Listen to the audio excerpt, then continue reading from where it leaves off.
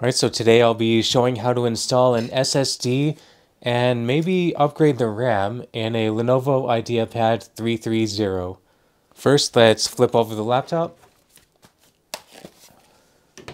And using a Phillips head screwdriver, we can start removing all the screws on the back case.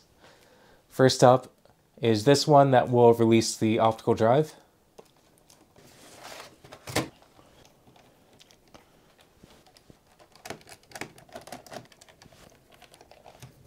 Now, using something like a stiff plastic guitar pick, we can start scoring along the palm rest, releasing the plastic clips without damaging the case material.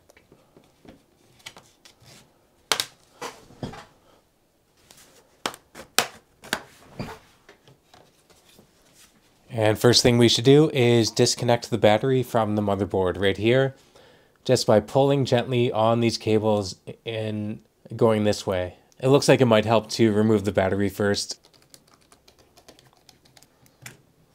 Looks like a fairly standard budget style motherboard. Here we have one available DIMM slot for RAM expansion and 4 gigabytes of RAM is soldered to the motherboard here. Looks like they used SK Hynix chips.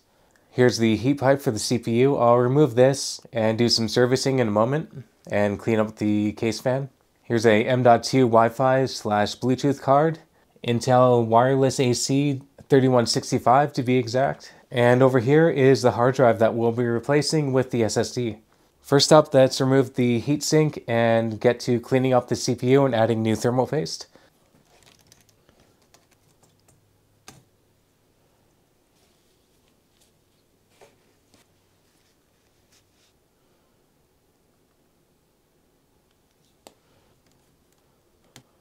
Now I should note that I think 8 gigabytes of RAM will be okay for this customer because they're just doing general stuff. Looks like the SSD installs a toolless experience. We just need to gently lift up and disconnect from the motherboard SATA connection here. And then simply remove the drive from the caddy.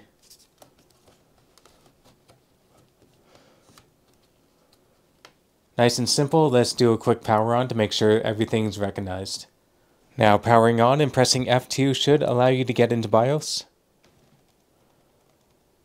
And we can see here that the Timetec SATA SSD is recognized as well as the RAM.